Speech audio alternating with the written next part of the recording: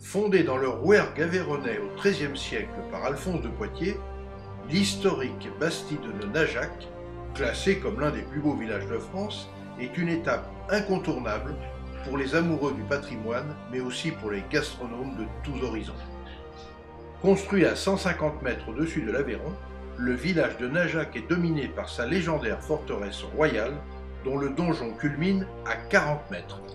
Celui-ci est fendu par des archères uniques au monde de 6 mètres 80 de hauteur, ce qui permettait ainsi à deux archers de décocher simultanément leurs flèches sur les assaillants.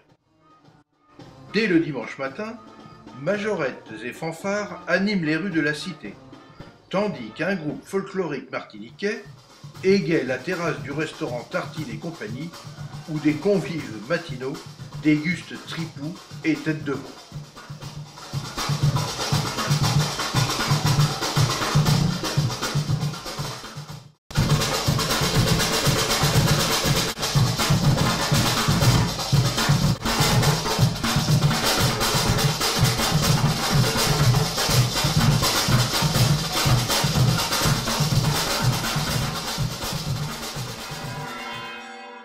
Bientôt les cloches sonnent pour annoncer la fin de la messe à l'église Saint-Jean l'Évangéliste. Et une procession se dirige alors vers l'église Saint-Barthélemy, dirigée par le diacre Thierry Glessner, et des bénévoles portent fièrement la statue en bois de Saint-Barthélemy.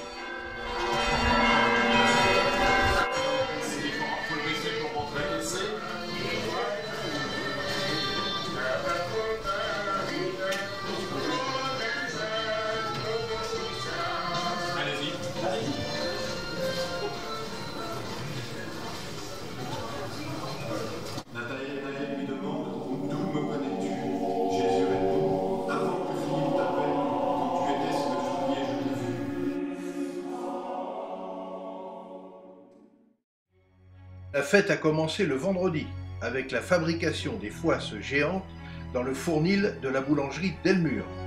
Et l'une de ces foisses mesure pas moins de 2,70 m et pèse 44 kg. Mais revenons au dimanche. Tout commence par un gigantesque défilé de majorettes et d'une fanfare venue de Pologne, s'il vous plaît. Et ainsi, à travers les rues de la ville, c'est l'effervescence pour assister à cet événement annuel qui déplace des milliers de personnes.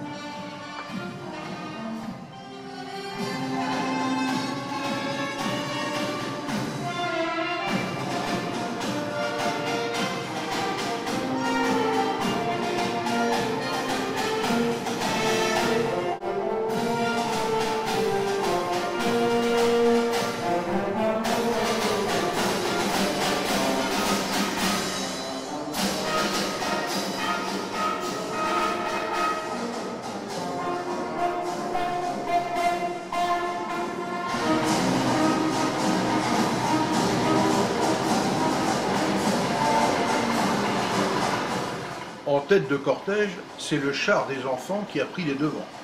Et ceux-ci projettent espièglement une pluie de confettis sur tous les passants.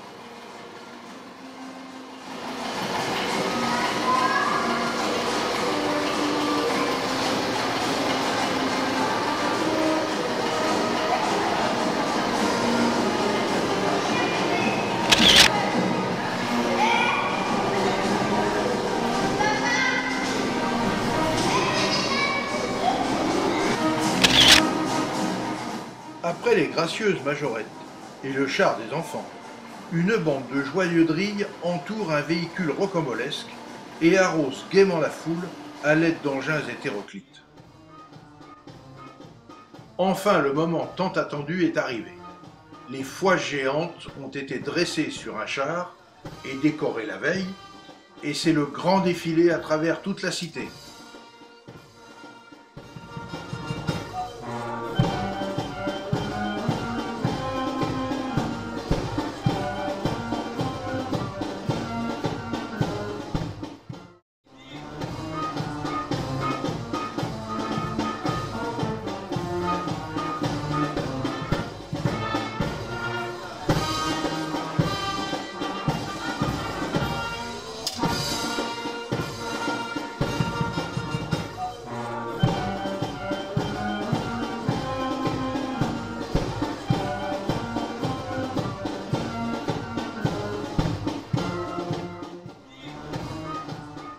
Après avoir traversé la place du Faubourg, descendu tranquillement la rue du Baril, puis celle du Bourguet, le char des Foisses arrive enfin dans la ville basse. Et devant le restaurant Tartille et compagnie, c'est une immense liesse populaire. Fanfare, majorette, groupe antillais, et même le public. Tout le monde est mélangé pour un bal improvisé. Chacun danse, chacun saute, chacun tourne, jusqu'à l'arrivée du chariot avec les Foisses, qui va faire demi-tour sur cette petite placette avant de regagner le haut de la cité, précédé par le char des enfants qui continue joyeusement à asperger la foule avec des confettis.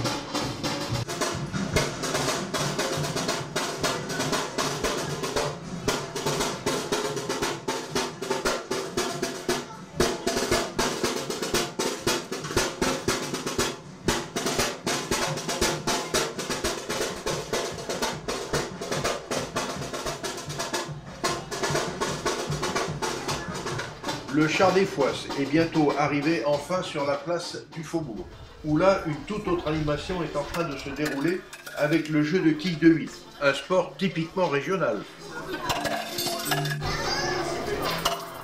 Alors là, attention les doigts, puisqu'il s'agit avec une grosse boule en bois de 3 à 6 kg de projeter une quille en hêtre ou en charme sur d'autres quilles placées un peu plus loin.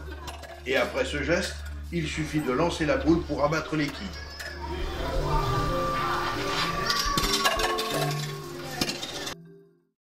Mais revenons à la foisse géante et faisant fi des convenances, sautons un jour. Nous sommes maintenant le lundi et la foisse géante et sa petite sœur reviennent sur la grande place du foirail où elles sont tranchées, coupées, découpées et offertes au public. Tout un groupe de bénévoles s'est ici regroupé.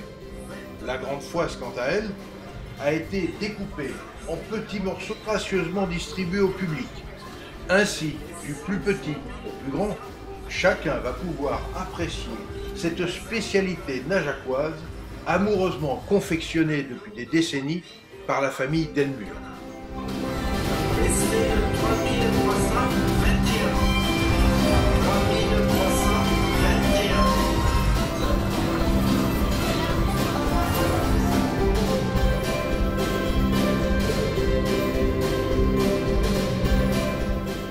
Sans oublier que le banquet approche.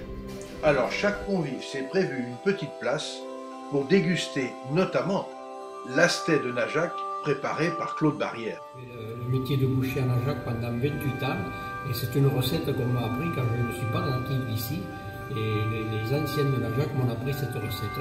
L'astet est un rôti de porc qui se fait exclusivement à Najac, c'est dans la longe de porc, euh, on nous fait deux entailles dans le sens de la longueur, on y met du, de l'ail, du persil, du sel et du poivre. Euh, on met la crépine autour, on le ficelle très serré. Après, on le fait cuire comme un rôti de porc et on peut le manger froid ou chaud à la limite, comme, on- veut. Rappelons-le, nous sommes bien en Aveyron.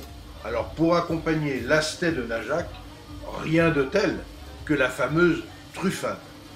Un superbe assemblage de pommes de terre, de tomes de l'Aveyron, de crème fraîche et de lardons fumés, préparé ici avec beaucoup de dextérité par Jean-Paul Déliris.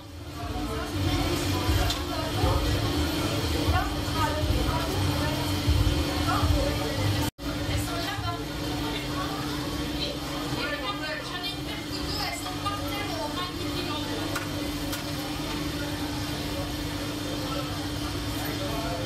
Alors là, ça va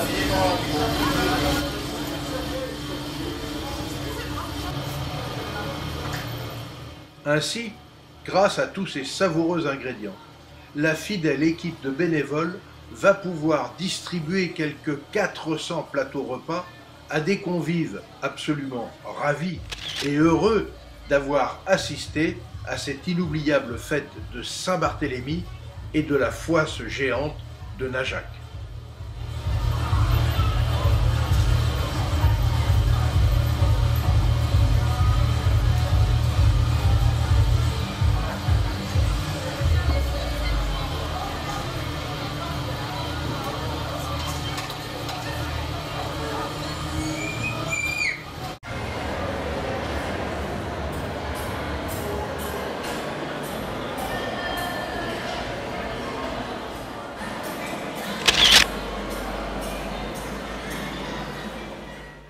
Je vous avais prévenu, nous avons sauté un jour.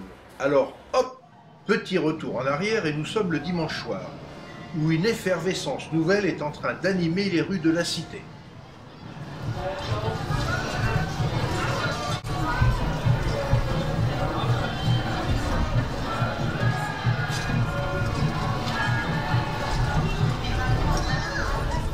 Deux mots qui marquent cette rumeur. Angèle Macaroni. Angèle Macaroni. Et quelle est donc cette histoire? Il faut tendre l'oreille et comprendre petit à petit qu'il s'agit d'une histoire ancienne où une certaine Angèle aurait préparé comme un nul autre pareil d'inoubliables macaronis.